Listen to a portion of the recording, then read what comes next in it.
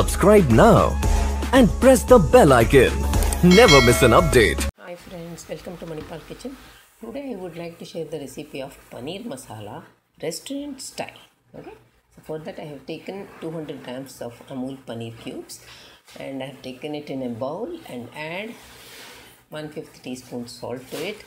Let's and 1 4 teaspoon turmeric powder and 1 4 teaspoon chili powder just mix it so that all the paneer cubes are coated with the three ingredients well. Just shake it well. Now add 2 tablespoons of ghee to a pan and keep it keep it on low medium flame. When it is hot add these uh, masala mixed cubes to it and fry for about 8 to 10 minutes till they are crispy and little brown and coated and sti- fried well. Look now it is fried so well and just turned brown after 10 minutes. Now let's prepare the masala powder for it. So i'm adding peeled cardamom 3 1 inch cinnamon piece to the mortar and pestle and then uh, 10 to 12 peppercorns. It's organic. And 3 cloves crushed to a coarse powder and keep it aside.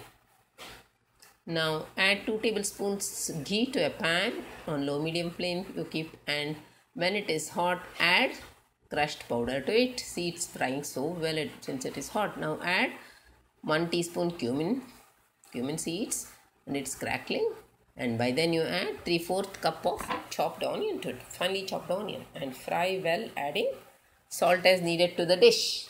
Now saute well till combined.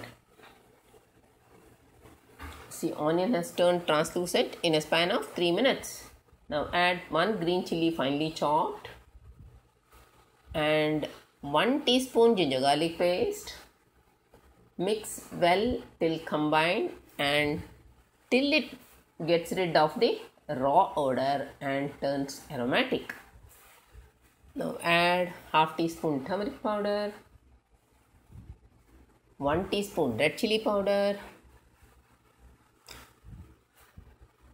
1 teaspoon coriander powder. And 1 5th teaspoon cumin powder. Saute all till aromatic and combined. For a minute on low flame. Now add a puree of 2 tomatoes and saute it till combined with all the masala, onion, ginger, garlic, etc. for a while, that is for about half a minute, and then cover and cook for 2 minutes. Now 2 minutes is done, and let's check and see it is thickened and the oil is released. Look at how, the, how well the oil is released, right? Give a good mix to it and add 1 tablespoon already I have roasted and kept roasted besan atta and saute till aromatic in the I mean combining in the all the masala mix and aromatic turns aromatic. Add 2 tablespoons of thick curds. Give a good mix to it till it turns combined with the other ingredients. Now cover and cook for 1 minute so that it is cooked and sauteed well. Give a good mix again see how it is boiling getting getting mixed and the color is changed. Now add 250 ml hot hot water to it. For us for it to the gravy. Give a good mix to it. Since it is hot it will not take much time and we can cover and cook only for 2 minutes. And after 2 minutes you can see the mixture boiling as we have added boiling water and flavors are absorbed. Now add fried paneer cubes to it. Mix again to combine well. Now it is necessary to cover and cook for 2 minutes at least as the paneer cubes should absorb the taste flavor. See now it has turned so aromatic.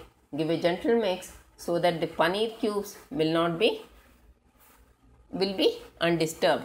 Now add half teaspoon garam masala powder and 1 teaspoon kasuri methi to it. Give a good mix but give a gentle mix actually.